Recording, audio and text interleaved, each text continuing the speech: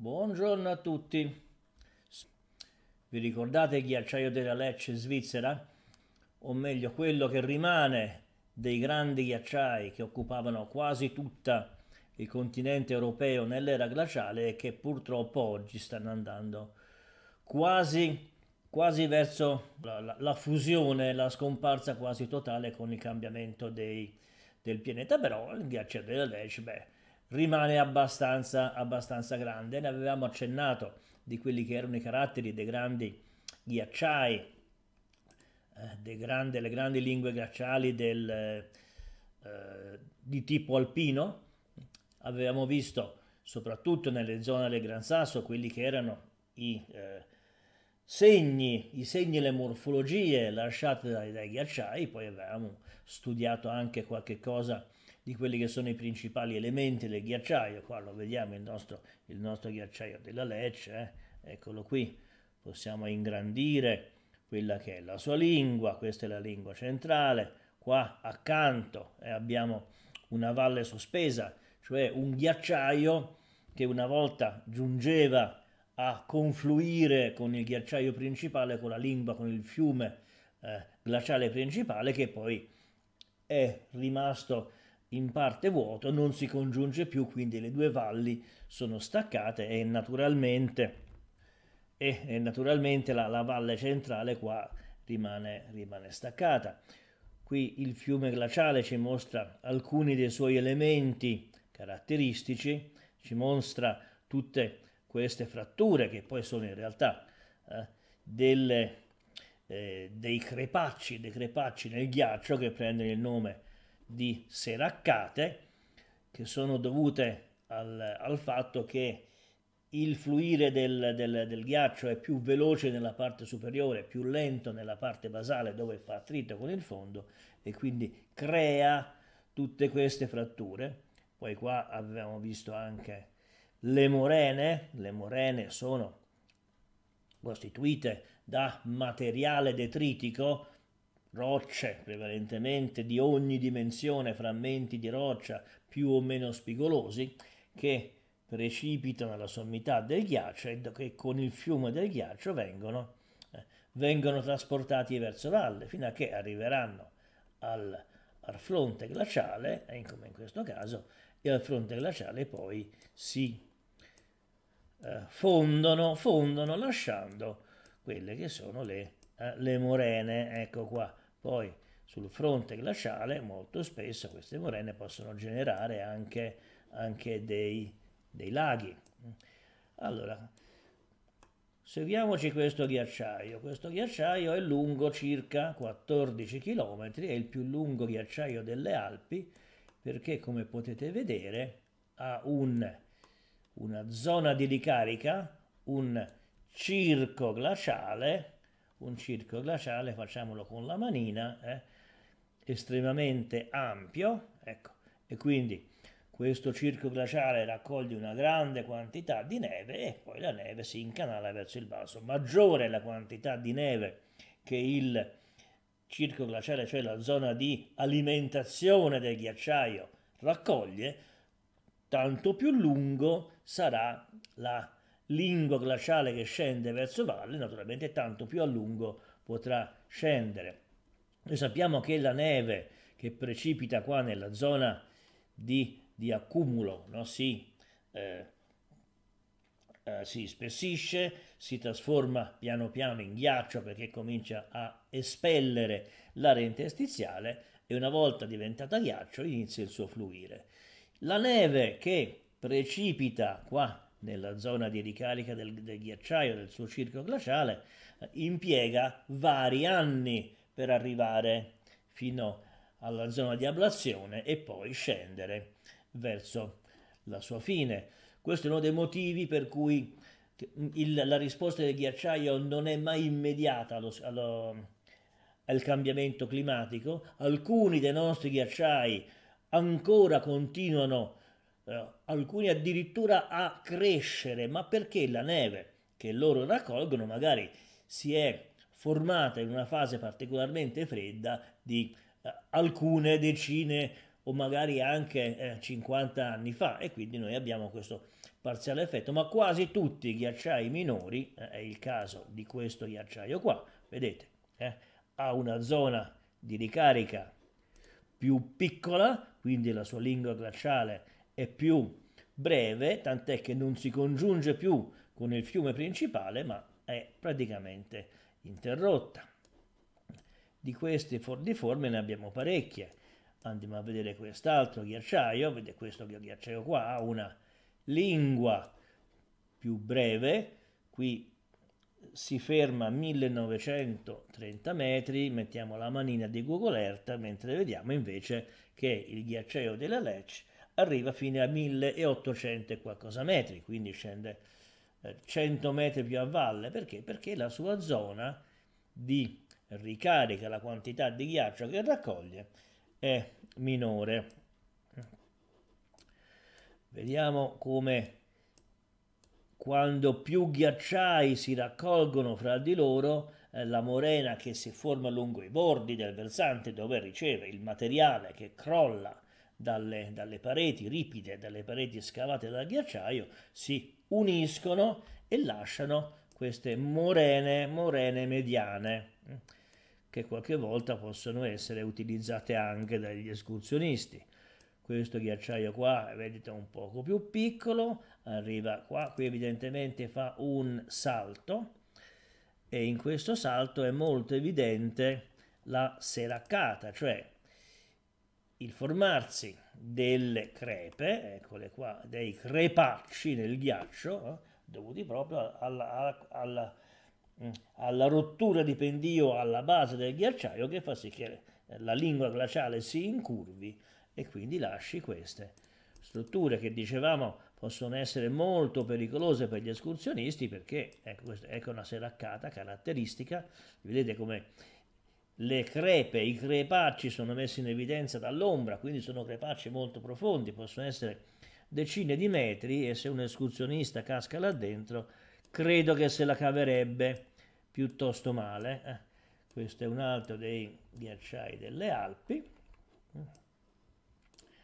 E qua dietro alla sua zona di ricarica, ora naturalmente essendo Google Earth un fotomosaico, alcune di queste fotografie sono state scattate quando c'era la neve fresca e ti dà questo effetto di non, non, perfetta, non perfetta copertura. Ecco qua, oh, qui abbiamo un altro bel ghiacciaio. Ecco, questo ghiacciaio qua potrebbe ricordare un po' che il ghiacciaio di Campo Imperatore, ora non so che nome ci abbia, guardate, immaginatevi Immaginatevi che questo sia la zona di ricarica di Campo Imperatore del Gran Sasso, eh, qui si forma il, circhio, il circolo, il circolo scende verso valle, eh, verso valle piano piano la lingua glaciale comincia a fondere, sul lato, sul lato rivolto verso nord, quello che non riceve eh, molta illuminazione durante il giorno, si formano dei piccoli circhi glaciali, eccoli qua, dei circhi avventizi, potrebbero essere tranquillamente quelli del monte Cinderella, che vanno, eh, che vanno a confluire nella lingua principale. Poi, ora che non toccano più nella zona centrale, il circo si è ritirata, la morena non è più eh, portata fino alla zona, alla, al circo principale, non confluisce più con la lingua glaciale principale, ma rimane, rimane indietro quindi abbiamo dei classici circhi, eh? eccolo qua, il classico circo con la sua zona di accumulo, una piccola zona di ablazione e le morene che vengono lasciate nella zona, nella zona frontale. Via via che il ghiacciaio si ritira, la morena arretra, arretra, arretra qualche volta la morella, abbiamo visto, può lasciare dei circhi glaciali.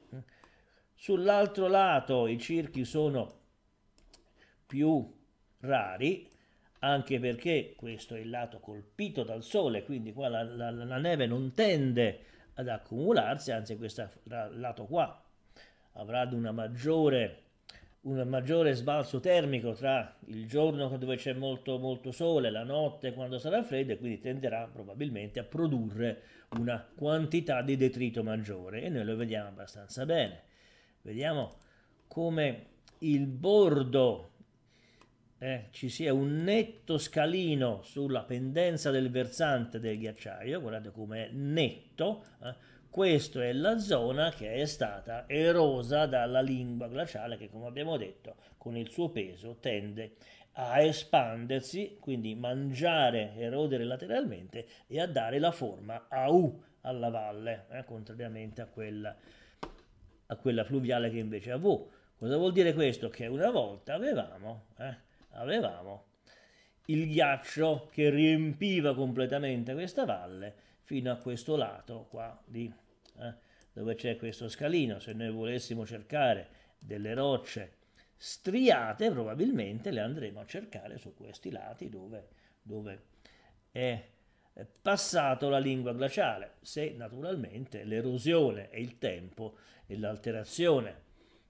delle rocce non l'ha cancellata. Questo qui è sempre un altro bel circo con la sua, eh, con la sua zona a crepacci dove gira ed eccola qua la zona di ricarica.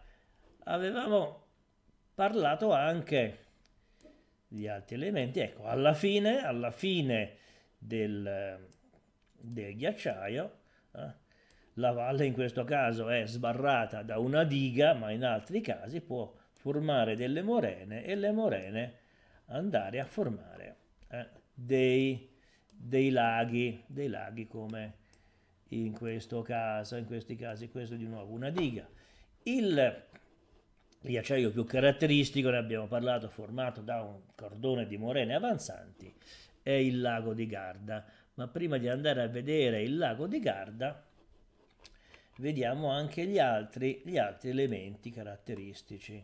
Eh, io spero che voi vi siate divertiti con Google Earth, andare a vedere come sono fatte queste zone. Allora avevamo detto che quando due eh, lingue glaciali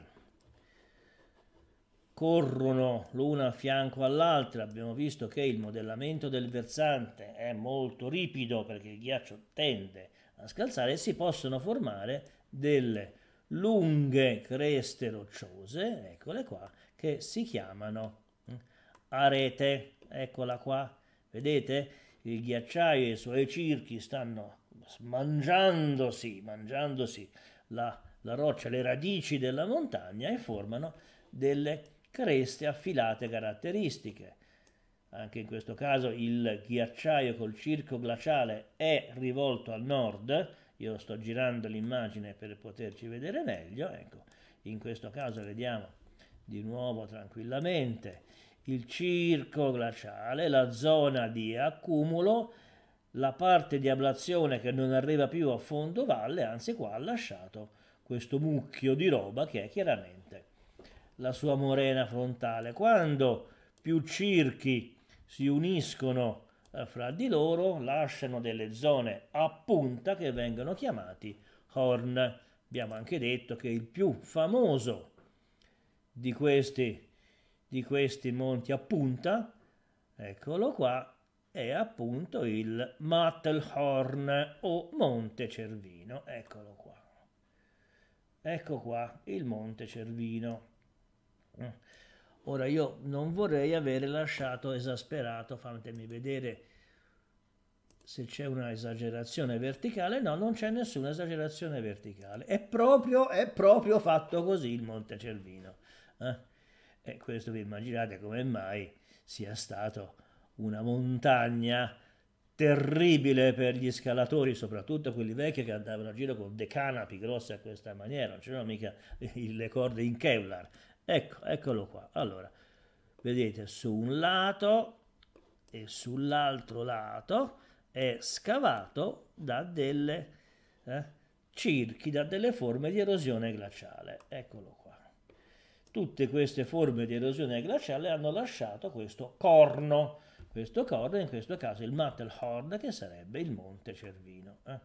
Qui, ecco qua, su quest'altro lato pure il circo glaciale eh, e il ghiaccio, il ghiaccio che si, si, accumula e poi scende, scende verso valle fino a raggiungere quello che una volta era una lingua glaciale che ora non c'è più. Guardiamo anche questo, questa morena questa lunga morena, lunga morena glaciale, eccola qua, caratterizzata da queste forme. In alcuni casi sotto questa morena ci può anche essere del ghiaccio ancora, eh?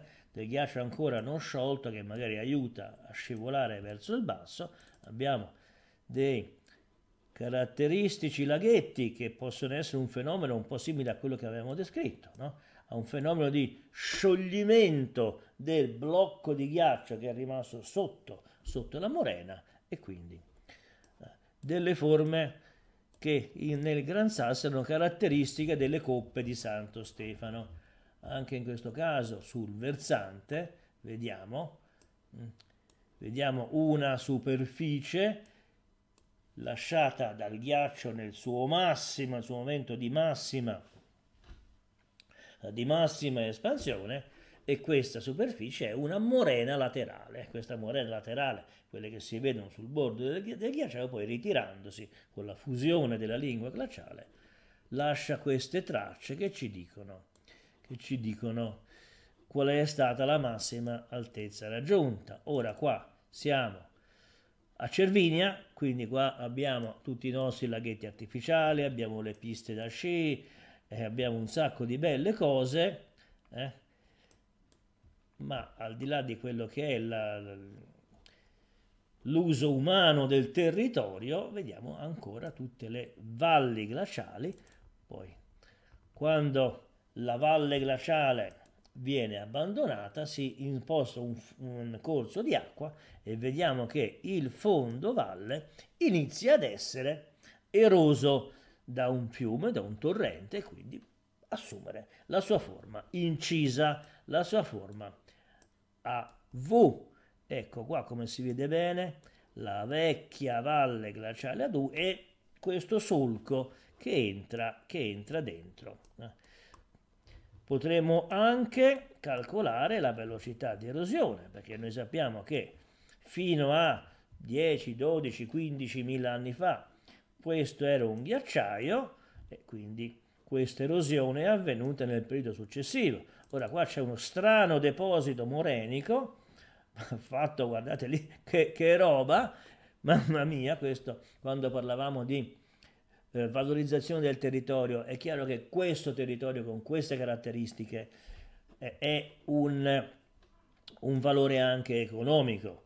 Eh, il paesaggio qua viene, viene venduto correttamente, correttamente per gli interessi, per gli interessi umani. Ecco qua, questi sono i sentieri, le piste da sci, e qua vedete gli impianti di risalita e quindi questo è un uso della montagna che bisognerebbe ragionarci un attimo quanto possa essere corretto, ma in linea di massima eh, la, il, il corretto uso del territorio vuole anche dire la sua conservazione, forse altro perché un bene, nessuno ci tiene che il bene sia, sia abbandonato. Allora, torniamo un attimo indietro prima di abbandonare le Alpi. Eh?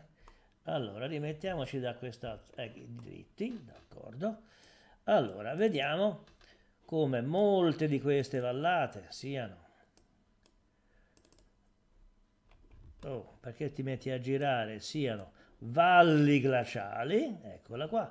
Questo è il lago di Ginevra, che non si chiama lago di Ginevra, ma non mi ricordo come si chiami, ed è chiaramente un lago lasciato da una di queste lingue glaciali che lo hanno abbandonato. La stessa cosa, eh, qui ritorniamo, riconoscete questo qui è, è, è caratteristico, il ghiacciaio della Lesch con tutte le sue lunghissime morene mediane e dietro, dietro abbiamo un'altra lingua glaciale che scendeva verso nord, eh, passa nei, nei, laghi, questo qui è Interlaken, dove l'unica cosa che so a questo posto perché sta in mezzo a due laghi, eh, dove, c'erano, eh, dove facevano le Olimpiadi invernali. Noi invece possiamo andare a vedere, io qua ora ci scrivo Garda,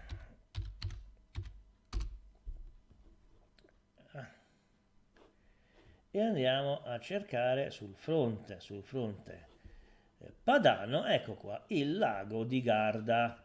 Il lago di Garda, eccolo qua, è una caratteristico fronte glaciale, d'accordo? Questo qua l'avevamo già accennato, era pieno di ghiaccio una volta e sulla parte esterna, guardate qui, eh, fateci caso, queste che sto seguendo con la manina eh, sono, sono le morene, le morene frontali, cioè il ghiaccio arrivava fino a quel punto lì, lasciava la sua morena centrale e poi si è ritirato fondendo, ha lasciato in questa depressione il lago di Garda. Il lago di Garda è stato scavato dal peso del ghiaccio, è profondo 180 metri sotto il livello del mare, quindi la massa glaciale sopra era enorme e ha fatto sì che questa ruspa eh, scavasse in abbondanza sotto, sotto la superficie.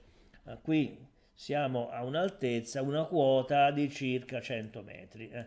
Su queste colline abbiamo detto ci fa il prosecco, quindi è un ottimo, un ottimo terreno per, per, il vino. Davanti, davanti l'acqua del Garda filtra attraverso questi depositi alluvionali e davanti ci sono tutte le riserie e quindi anche il tipo di uso del territorio è naturalmente, naturalmente condizionato dal, dalla risorsa naturale. Questa è la valle dell'Adige, ecco qua, questo è il fiume Adige che scorre, anch'esso come ben sapete, eh, in una valle, valle glaciale, si vede come ben potete vedere dalla forma ad U, in una valle glaciale, queste sono le sue morene frontali, quindi la valle dell'Adige portava la lingua glaciale e depositava, depositava il materiale su queste morene. Queste morene sono alte circa un centinaio di metri sul fondo valle, quindi la lingua glaciale aveva tanto materiale da trasportare. Guardate come si vedono bene questi paesaggi caratteristici.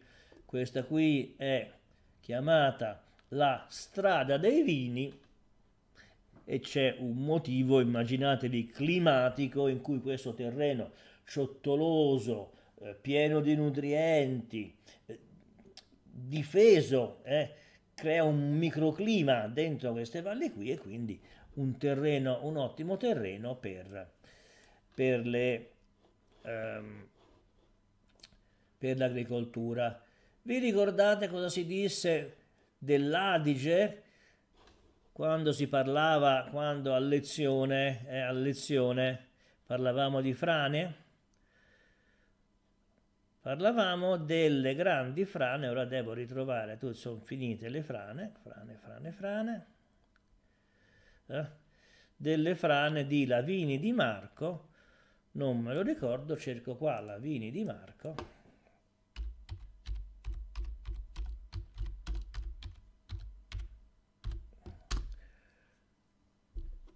Cerca, eccoli qua.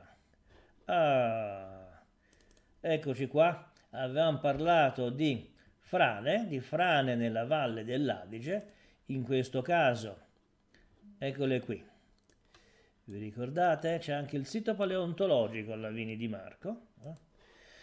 In questo caso molte di queste frane, eccole qua, si sono messe, verificate perché la roccia è fatta a franapoggio, quindi favorisce, favorisce lo scivolamento, ma gran parte di queste frane si sono attivate dopo il ritiro del fronte glaciale. E molte delle grandi frane delle Alpi si sono formate proprio nel momento in cui si è ritirato il ghiaccio, perché il ghiaccio spingeva, cioè forniva l'appoggio alle pareti, nel momento in cui si ritira il ghiaccio si attiva la frana, quindi molte grandi frane sono più o meno negli ultimi 10.000 anni. Ecco questa frana qui, guardate, questa frana chiaramente sta occupando, occupando e si sta espandendo nel centro della valle che prima era occupata dai ghiacci. Mm? Altrettanto quest'altra nicchia di distacco qua va eh, qua dentro. Ora non è molto furbo fare le case proprio dove c'è una nicchia di accumulo, qui invece ecco si vede quello che era il versante della montagna dove non era ancora, eccolo qui. Questo era il versante della montagna, tagliato, eroso dalla lingua glaciale e poi invece qui le frane che hanno occupato questo spazio. Ok, queste sono tutte le cose che avevamo visto a lezione la volta, la volta scorsa. Ma io volevo andare da qua un poco più verso nord per vari motivi, perché, perché per fare lo sborone, perché voi per dirvi che con il professore Ferrini noi siamo andati a vedere un sacco di posti. Allora, andiamo a vedere un vulcano di quelli, un, un ghiacciaio di quelli veri. Prendiamo, prendiamo il nostro tappeto volante e andiamo in Islanda. Eccola qua. Islanda ci sono dei ghiacciai di un certo rilievo. Allora,